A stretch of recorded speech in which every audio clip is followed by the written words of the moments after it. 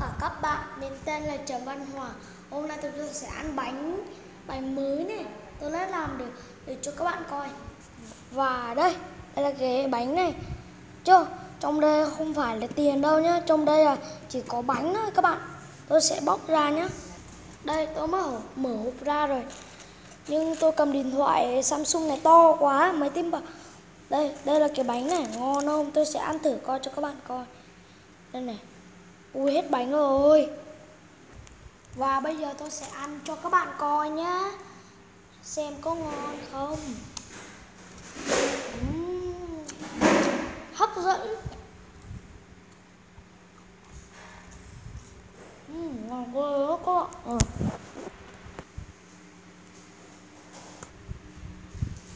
Ừ, còn dừa hết rồi, bây còn dừa không sao.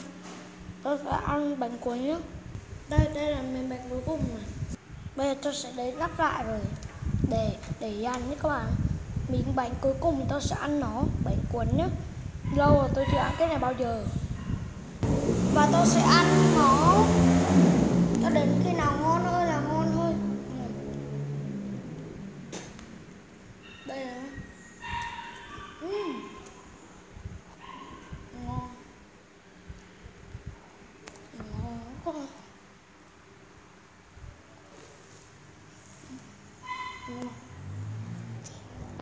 mà là làm profile của clip nếu các bạn thấy hay anh nhấn like cho và đăng ký chia sẻ video này nhé. Và hãy đăng ký cho tôi và chúc anh chia sẻ video này hết tạm biệt các bạn. Được rồi, được rồi các bạn.